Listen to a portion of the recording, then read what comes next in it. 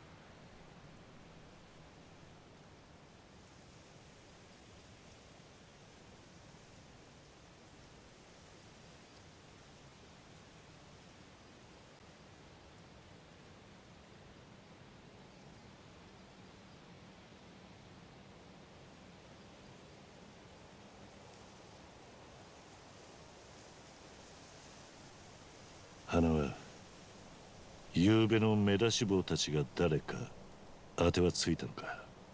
疑わしいのは今回の密輸を持ちかけてきた依頼主ということになります。例の某独裁国家の革命家ですね。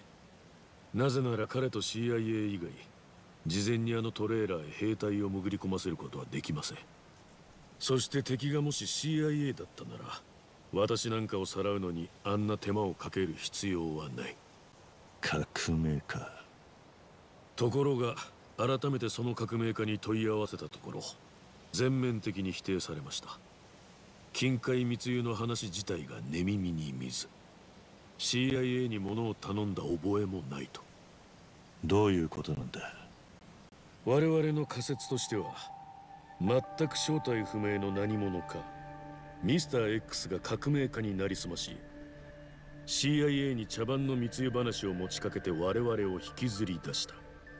その目的はなんとこの私をさらうこと。あんたを何のために？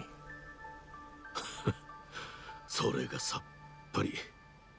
私は組織のしがない末端で大掛かりにさらうような価値はありません。ミスター X に話を聞かなければ昨べ起きたことが何だったか分からずじまいでしょう。今大同寺一派の総力を挙げて探しています。これまでのところ手がかりはゼロですが。しがない末端のために大道寺が総力を挙げると思えねえが。痛いところをついてきますね。確かにそうです。ですから私としては他の線からも独自に調べを進めようと思った次第です。それで今日はこちらへ伺いました。ん？桐生さんはお気づきだったか。目出し帽のうち何人かは和彫りの入れ墨を入れていたんです。特に死んだエージェントを襲った般若の男にはこれ見よがしなのがね。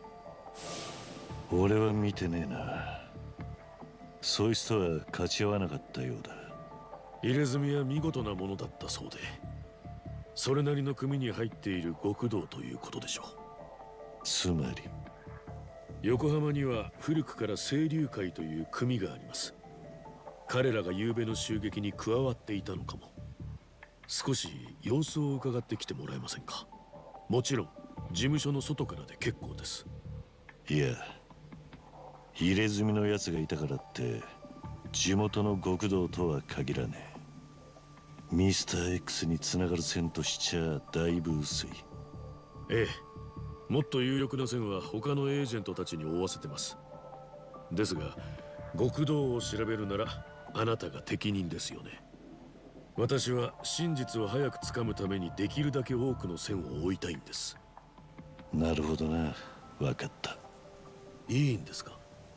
その代わり俺もミスター X の正体に興味がある。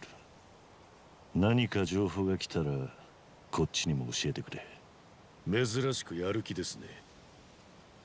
もしかしてまた私が襲われないかと心配を？だとしたら感激です。まあそうかもな。どうも違ったようですね。ともあれ気をつけてください清流会にもあなたの顔を知る極道がいるかもしれません。とりあえずは事務所に異常がないか遠巻きに見るだけで結構ですよ。